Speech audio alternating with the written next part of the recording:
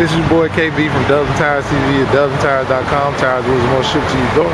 Right now we're looking at a 2015 Jeep Grand Cherokee. Got the XD Series Brigade and all black on the white vehicle. Looks great. Can't always see it well on camera, but that is it. This is a 20 by 9 with a zero offset. You can see it sticks out the fender well just a little bit.